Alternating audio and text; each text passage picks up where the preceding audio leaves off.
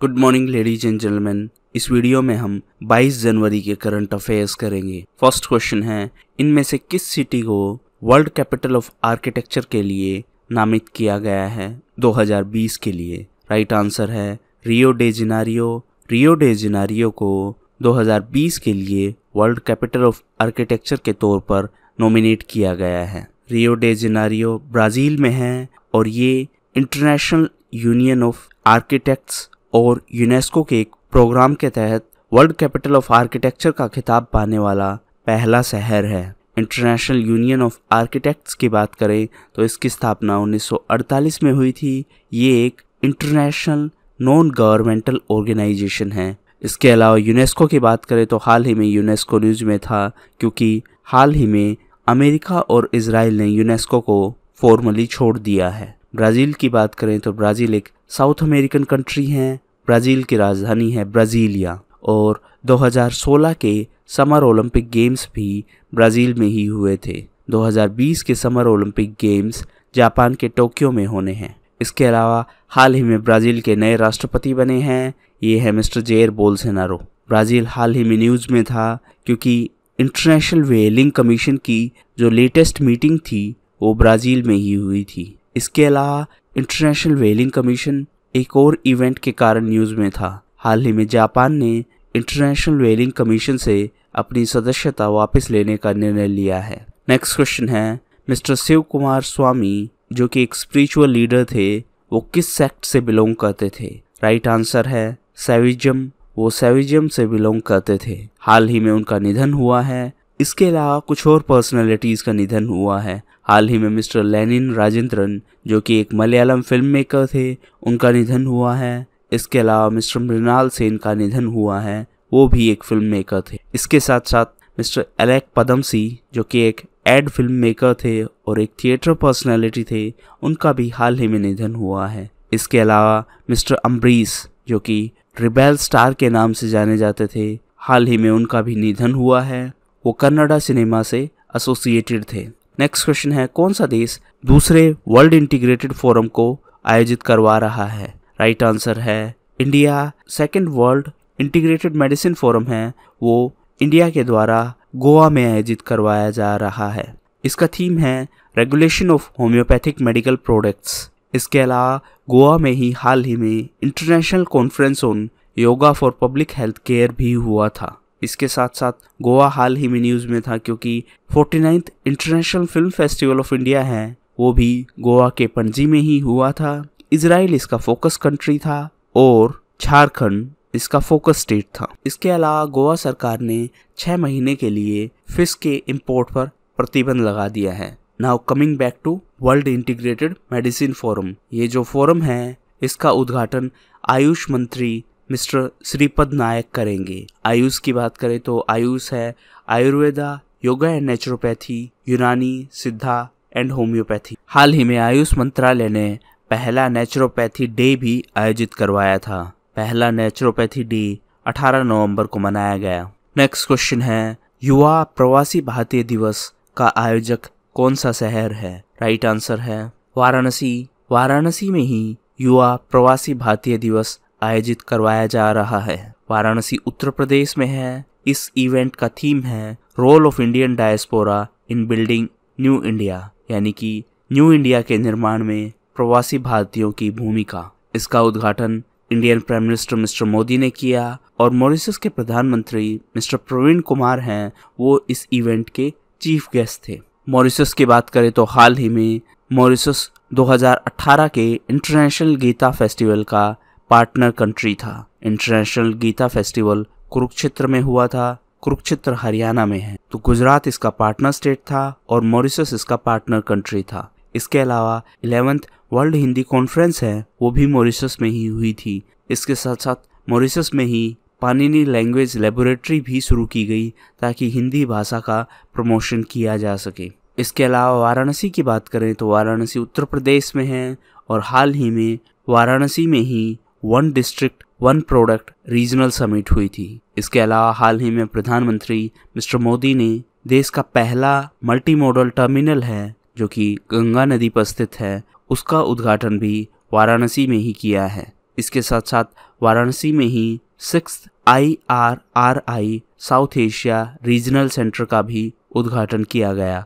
आई R R आई का मतलब है international rice research institute next question है, भारत सरकार ने किस प्रतिशत पर ग्रेडेड इंडक्शन के बाद महिलाओं को मिलिट्री पुलिस में भर्ती करने का निर्णय लिया है? राइट right आंसर है twenty percent government of India ने ग्रेडेड इंडक्शन के बाद मिलिट्री पुलिस में बीस परसेंट महिलाओं को रिक्रूट करने का निर्णय लिया है। मिलिट्री पुलिस की बात करें तो ये उन्नीस सौ उनतालीस में गठित की गई थी। ये इंडियन आर्मी की एक ब्रांच है। इसका रेजिमेंटल सेंटर बेंगलुरु में है। मिलिट्री में महिलाओं की भागीदारी की बात करें तो आर्मी में कुल 3.8 परसेंट महिलाएँ हैं, जबकि इंडियन एयरफोर्स में कुल 13.09 परसेंट महिलाएँ हैं। इसके अलावा इंडियन नेवी में केवल 6 प्रतिशत महिलाएँ हैं। नेक्स्ट क्वेश्चन है 2019 में यूएनसीसीडी के फोर्टीन कॉन्फ्रेंस ऑफ़ पार्टीज़ का आयोजक कौन सा देश है? राइट right आंसर है इंडिया इंडिया 2019 में UN convention to combat desertification के फोर्टीन सेशन का आयोजक होगा। ये अक्टूबर 2019 में होगा। इससे पहले थर्टीन सेशन है, वो 2017 में चाइना में हुआ था। UN convention to combat desertification की बात करें तो ये उन्नीस सौ चौरानवे में साइन किया गया था और उन्नीस सौ छियानवे से ये अफेक्टिव हैं। प्रेजेंटली एक देश और यूरोपियन यूनियन इसकी पार्टी हैं। और इसका फोर्टीन सेशन है, वो इंडिया में आयोजित होगा। नेक्स्ट क्वेश्चन है, हाल ही में किस देश के सेंट्रल बैंक ने भारतीय नोटों के उपयोग पर प्रतिबंध लगाया है? राइट आंसर है नेपाल। नेपाल के सेंट्रल बैंक नेपाल राष्ट्र बैंक ने हाल ही में भारतीय मुद्रा के सौ रुपये से अधिक के नोटों पर प्रतिबंध लगाने की घोषणा की है। जैसे इंडिया में आरबीआई है, वैसे ही नेपाल में नेपाल राष्ट्र बैंक है और उन्होंने सौ रुपये से अधिक के नोटों पर प्रतिबंध लगा दिया है। नेपाल की बात करें तो नेपाल हाल ही में न्यूज़ में था, क्योंकि बिम्स्टेक की फोर्थ समिट है, वो नेपाल के काठमांडू में ही हुई थी। बिम्स्टेक का मुख्यालय ढाका में है। ढाका बांग्लादेश की राजधानी है, और हाल ही में बांग्लादेश में आम चुनाव हुए थे। उस आम चुनाव के बाद मिस शेख हसीना की पार्टी ने दोबारा से जीत हासिल की है। मिस शेख हसीना की पार्टी है आवामी लीग। बिम्स्टेक के मेंबर्स की बात करें तो ये है बांग्लादेश, भूटान, इंडिया, म्यांमार, नेपाल, श्रीलंका और थाईलैंड। और जो नेक्स्ट बिम्स्टेक की समिट हैं, वो श्रीलंका में होनी है। इसके अलावा बिम्स्टेक की पहली जॉइंट मिलिट्री एक्सरसाइज है, वो भारत के पुणे में हुई थी। श्रीलंका की बात करें तो हाल ही में श्रीलंका में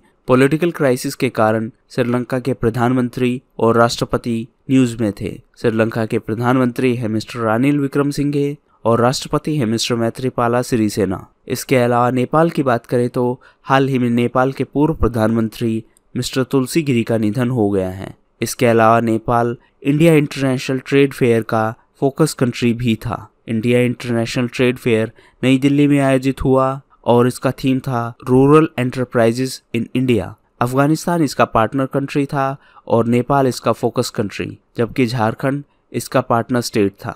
इस इवेंट के बाद उत्तराखंड को बेस्ट स्टेट का अवार्ड दिया गया। इसके अलावा, नेपाल की बात करें तो सार्क का मुख्यालय भी नेपाल के काठमांडू में स्थित है। सार्क की स्थापना उन्नीस सौ पचासी में हुई थी। सार्क के मेंबर्स हैं वो हैं अफ़गानिस्तान, बांग्लादेश, भूटान, इंडिया, मालदीव्स, नेपाल, पाकिस्तान और श्रीलंका। सार्क का मतलब है दक्षिण एशियाई क्षेत्रीय सहयोग संगठन। इसके अलावा, नेपाल की राजधानी काठमांडू में ही हाल ही में एशिया पैसिफिक की समिट हुई थी।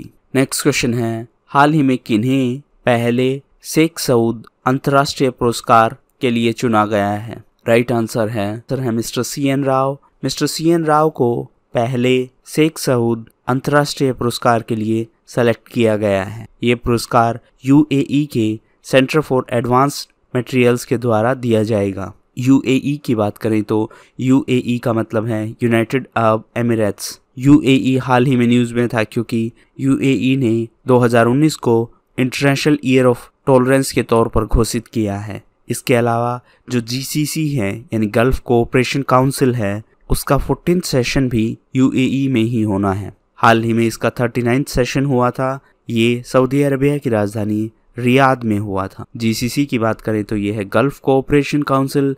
इसके मेंबर्स हैं Kuwait, Bahrain, Qatar, UAE Oman और सऊदी अरबिया। सऊदी अरबिया की राजधानी रियाद जीसीसी का मुख्यालय है। Now coming back to mister C N Rao mister C N Rao एक प्रसिद्ध वैज्ञानिक हैं और उन्हें भारत रत्न से भी सम्मानित किया गया है। भारत रत्न की बात करें तो इसकी स्थापना उन्नीस सौ चौवन में की गई थी और भारत रत्न के पहले रिसिपियंट्स हैं mister C Rajagopalachari mister Sarvepalli Radhakrishnan और मिस्टर सी वी रमन।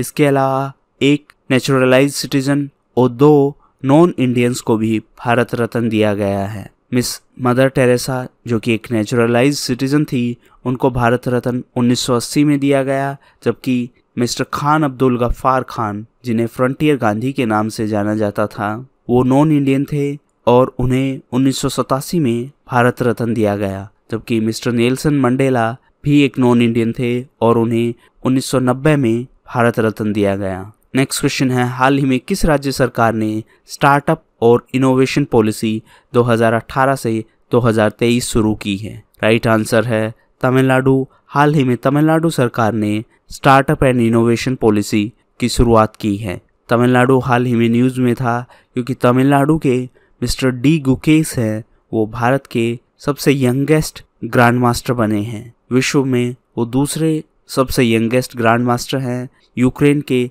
सर्गी कजनिन हैं, वो सबसे यंगेस्ट ग्रांड मास्टर हैं विश्व में। इसके अलावा तमिलनाडु की बात करें तो हाल ही में नीति आयोग ने सेकेंड डेल्टा रैंकिंग जारी की थी एस्पिरेशनल डिस्ट्रिक्ट प्रोग्राम के तहत। इसमें तमिलनाडु के विरुद्धनगर ने टॉप पोजीशन हासिल की है, जबकि झारखंड का पाखुर है, वो बॉटम पोजीशन पर है। इसके अलावा भारत का पहला म्यूज़िक म्यूज़ियम है, वो भी तमिलनाडु के थिरुवयारू में स्थित होगा। इसके साथ साथ हाल ही में नीति आयोग ने एस इंडिया इंडेक्स 2018 जारी की है। इस इंडेक्स के हिसाब से हिमाचल प्रदेश, केरल और तमिलनाडु टॉप परफॉर्मिंग स्टेट्स हैं, जबकि आसाम, बिहार और उत्तर प्रदेश हैं, वो वर्स परफॉर्मिंग स्टेट्स हैं। इसके अलावा तमिलनाडु एडमिनिस्ट्रेशन की बात करें तो मिस्टर ई पलनीस्वामी हैं, वो तमिलनाडु के मुख्यमंत्री हैं, जबकि मिस्टर बनवारी लाल पुरोहित हैं, वो तमिलनाडु के राज्यपाल हैं। नेक्स्ट क्वेश्चन है वर्ल्ड के पहले